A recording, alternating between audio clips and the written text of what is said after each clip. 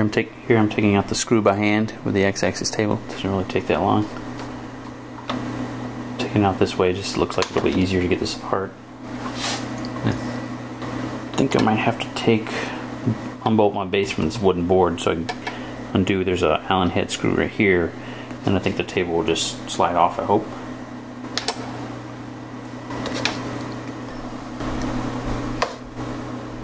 Okay, just keep unscrewing it, and then she comes on out. And then she's got this little uh, brass piece on there.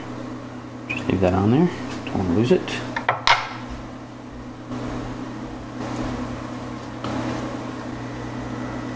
Taking this off because it's kind of like a stop for the table. It won't slide all the way off.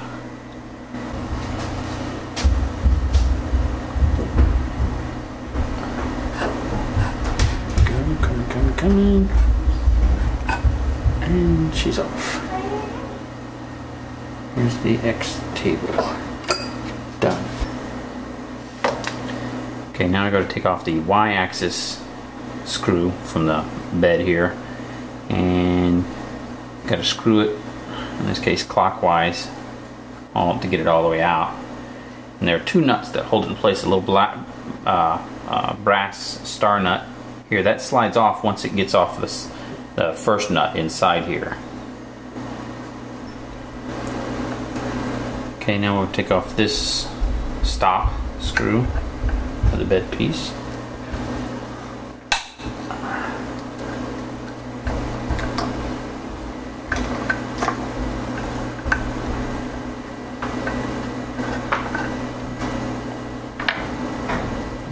And we'll slide this one off. Maybe.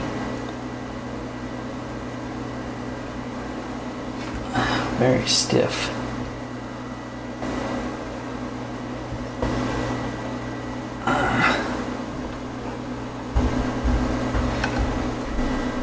Of course, I've already loosened the uh, lock nut on the side here, so that's not slowing me down. It's just stiff. Oh, they've already knocked that one. They're just loosely in there.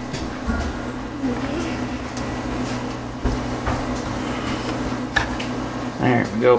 Got her.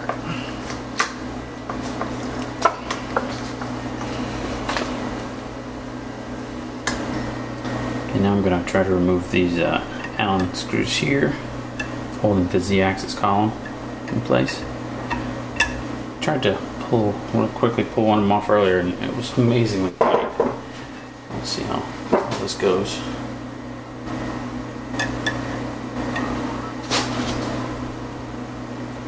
Oh my gosh, it's tight.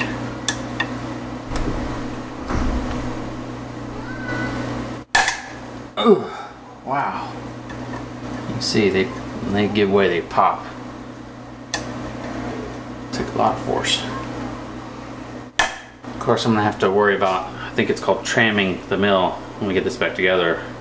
There's probably just a tiny bit of play in the column here, and I'll have to uh, make sure that it is true or perfectly vertical 90 degrees to the bed. There we go. Cut the Z column off, and we'll clean that up before we put her back on.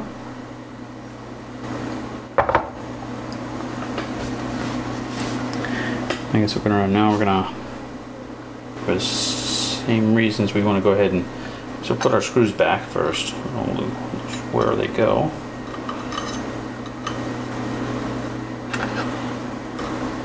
And I got to take these uh, Allen screws off here. So I can take this off because I want to be able to clamp this base, and this will be in the way. Okay, our instructions uh, tell us that we got to bolt the template block, the little rectangular block. This little guy got three little holes on it. We have to bolt this to our base or our table, and I believe we use this other cylindrical shaped template will be used for the z-axis column.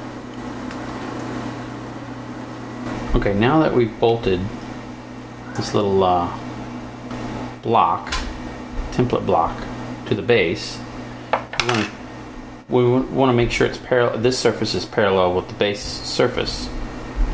Way our screws will be nice and true. Um, it the instructions suggest that we clamp it, but I'm not clear how I should clamp it. I mean, a long clamp this way a really big clamp I don't have. Probably cover one of the holes.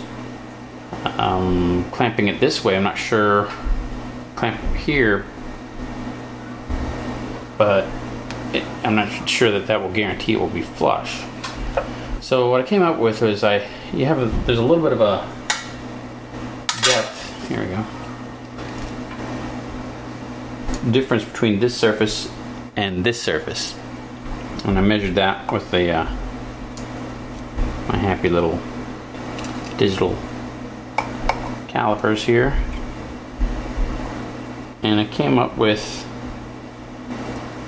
0.08.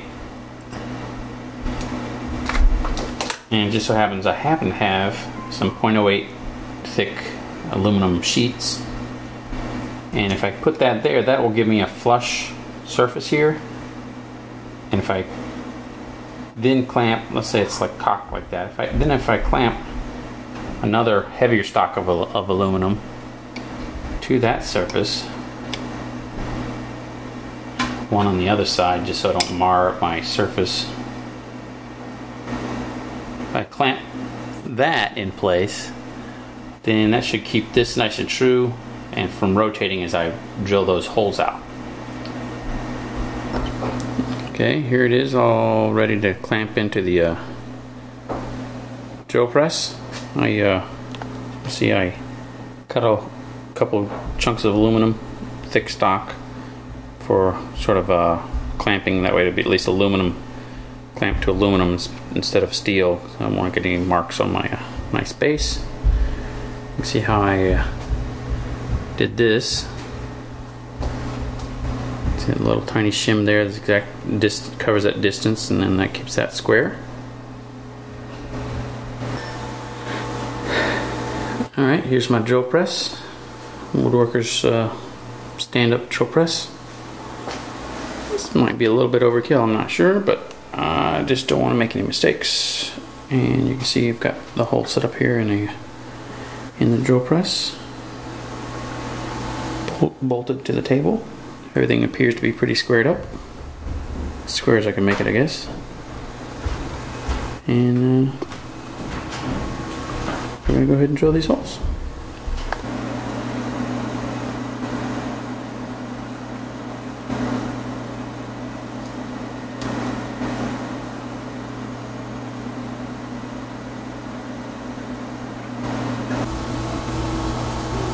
Alright, there we go. We got the holes complete for the base. And for the uh, X table, to put the template on there, I had to come up with a couple of uh, little plastic shims and a sheet of aluminum cut there to cover that distance so I could square that up. And I tightened down the uh, nut, the little screw, and then I measured it and made sure it was uh, square and I clamped it with this little uh, vice grip seemed to do the job. We're in the base, all ready to drill and tap again. Okay, now we're ready to do the z-axis. Have the template on, as per instructions. And we're going to go back to the uh, woodworking drill press and drill that out. Well, we drilled the steel z-axis and I was really quite surprised uh, how easily it cut. I thought steel would be a lot harder to cut, but I think that's probably more likely to do with the fact that I was using a very high quality uh, um, tin plated drill bit. It was kind of expensive, but it really cut. It made it feel like I was cutting even easier than aluminum. Plus, I also made sure I used the uh, new and improved Tap Magic cutting fluid. I think that really felt slippery too. So and the tapping is going quite well also kind of surprisingly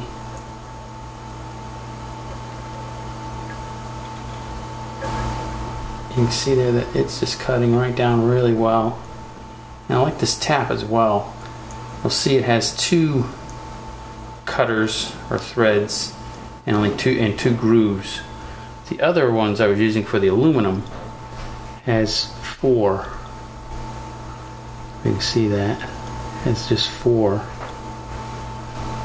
threaded and four grooves. And I don't think that does as good a job, so I'm definitely gonna get the this style uh, from now on. And here it is, my Sherline mill parts, all ready to go back together. Did a little cleanup on them. All the main parts are now drilled and tapped and ready to go.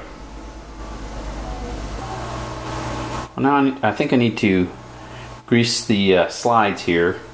Uh, they originally had some a little bit of grease left. It was kind of dried up. But I, you know, after I cleaned it, now there's nothing on it, so I'm gonna I think I'm gonna use this Super Lube synthetic grease. It's nice and has a nice clear consistency. Okay, now we're ready to put the preload nut on. That's this guy right here. And notice there's like a cup. One side is sort of flush, and the other side has a little cup. And the cup faces outward. It's very hard to tell. But if you look at the uh, little diagram there, you, you'll be able to see that the cup faces outward. And you need to use either the left hand or right hand nut. Well, I made sure I kept the screws separate. I took this one off last, so I knew it went back on first. And it happens to be the left hand screw, so it takes a left hand nut. Now we need to put the uh, motor mount. Make sure the uh, inner bearing and outer bearing are seated well. And just slide it on. There's a what they call coupler. I just slid that in there. You can see it maybe a little better here. The light here. There's our coupler inside there slid that in with a little tiny Allen screw. And to tighten the Allen screw, use our Allen wrench. And there's another little Allen screw on the side of the shaft. Uh, we don't need to tighten it, but we use we put a, another Allen wrench here through that hole into the coupler, and that holds it in place while we tighten. And that'll tighten the uh, coupler to the lead screw and you'll see here we have our uh, uh, what do you call it um, preload nut in place well I put some Loctite on there uh, just use the capillary action as it said in the instructions to let the uh, Loctite seep into the threads hold the uh, preload nut in place Here's the uh, stepper motors that came with the Xylotex. I'll stick it on there and uh, bolt it on. Okay, here we're we're installing the last stepper motor.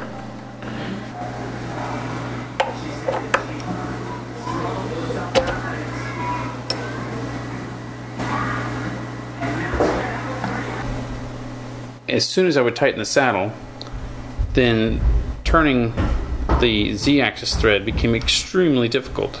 Even though this was sliding well on the dovetails, the the screw became it's almost like it was being pinched. Fixing the adjustment had to do with this screw and that screw. And tightening or loosening those would cause it to pivot this thing either this way or this way. And that's what was causing the pinching. It was an amazingly small amount that it took to, to adjust this and this to take that pinch out and allow that screw to travel freely. And so now I can move that dovetail up very smoothly now without a lot of pinch. Um, so that fixed that. Now on to the next step. Another very useful tool was to take this quarter inch drill bit, cut off the shaft of it, and then you could stick it into the hand wheel. Then could take that hand wheel, stick it into the